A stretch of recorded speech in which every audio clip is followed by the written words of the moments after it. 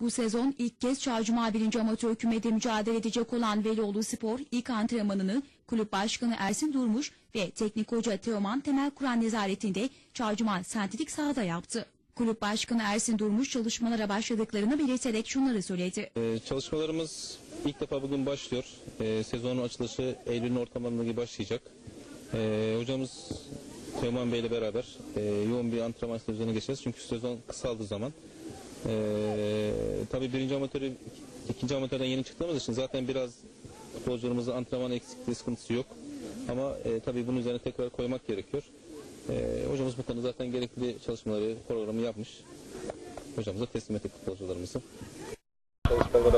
Şampiyonluğumuzu sizin aracılığınızla e, çevredeki seven insanlara, bizi sevenlere, çağcımallara duyurmuştuk. Nasip bugün de sezon açılışımızı sizinle beraber, başkanımızla beraber, yöneticilerimizle beraber bugün bismillah dedik. İnşallah Velol Spor Kulübü'nü layık olduğu yerlere getirip haddimizi bilerek, elimizden geldiği kadar iyi mücadele ederek takımımızı en iyi şekilde temsil etmeyi düşünüyoruz. Bu konuda bizim Veloğlu halkından bizi yalnız bırakmamalarını, bize güvenmelerini, bu takımın e, iyi bir yerlere geleceğine inanmalarını istiyoruz. Sizlere, sizler de, sizlere de bizi yalnız bırakmadığınız için gerek şampiyonluğun şampiyon olduğumuz gün gerekse açılışımız yaptığımız yaptığımız bugün de bizi yalnız bırakmadığınız için teşekkür ederiz. kadroya yeni katılan Kadroya yeni arkadaşlarımız katıldı. Ee, Saltukova Spor'dan Fevzi arkadaşımızı kadromuza kattık. Çaydermeni Belediye Spor'dan Erdem arkadaşımızı kattık.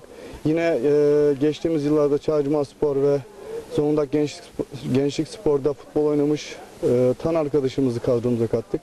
Kadromuzu genç arkadaşlarla da inşallah daha da güçlendirip onların da tak- takıma yapacakları takviyeyle iyi bir yere getirmeye çalışacağız inşallah. Büyük konuşmamak gerekiyor. İnşallah iyi mücadele ettiğimizde takımımızın iyi bir yerlere gördü, geldiğinde buna insanlar kendileri kanaat getirecekler. Ee, inşallah elimizden geldiği kadar takımımızı en iyi şekilde temsil etmeye çalışacağız. teşekkür